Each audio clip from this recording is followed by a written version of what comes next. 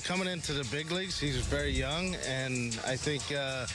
you know, for everything we've seen so far, it seems like he's taking a step each year to to evolve his game and to what they're doing to him, and getting used to it, seeing it, seeing how it works. You know, being able to take the ball the other way, pull the ball when he needs to. I think you know his talent level is he's capable of doing a lot of things, and I think once he gets used to what's going on, he, he adapts really well.